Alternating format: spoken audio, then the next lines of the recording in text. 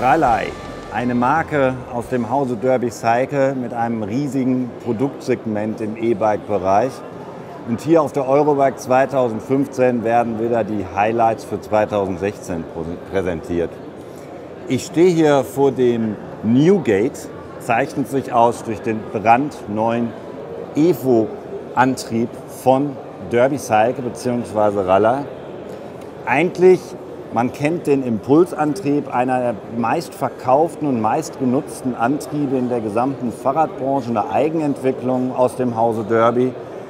Und es reichte jetzt nicht zu sagen, wir machen den Impuls 3.0, sondern es brauchte eine komplette Evolutionsstufe. Ab jetzt heißt dieser Motor von Derby Evo der ist leichter, der ist wartungsfreundlicher, der hat ein neues Bussystem, was damit dann auch ganz neue Skalierungen für die Zukunft, technische Skalierungen ermöglicht. Das ist wartungsfreundlicher nicht nur für den Händler, sondern auch der Kunde hat eine Menge Vorteile. 20% Gewichtsersparnis.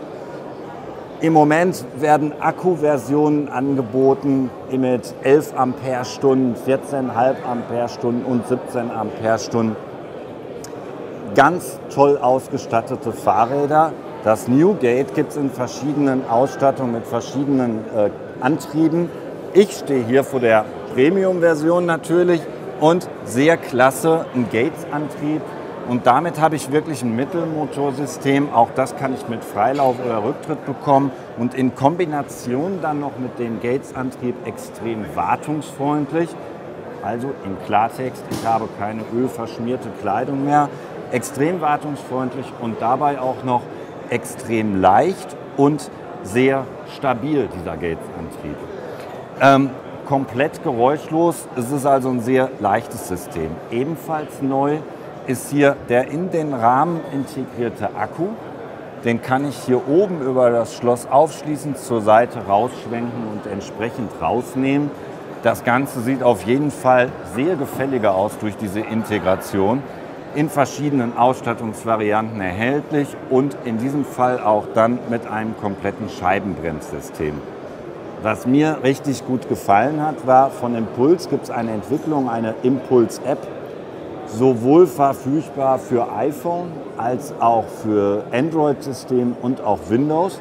Die habe ich mir gerade runtergeladen und in Kombination mit dem neuen EFO ähm, habe ich damit wirklich die Möglichkeit, eine Route, natürlich selbstverständlich kostenlos, sehr einfach zu bedienen. Also ich war sehr erstaunt. Normalerweise hat man ja durchaus komplexe Systeme. Hier habe ich direkt auf dem iPhone die Möglichkeit zu sagen, ich möchte mal gerne eine Route berechnen.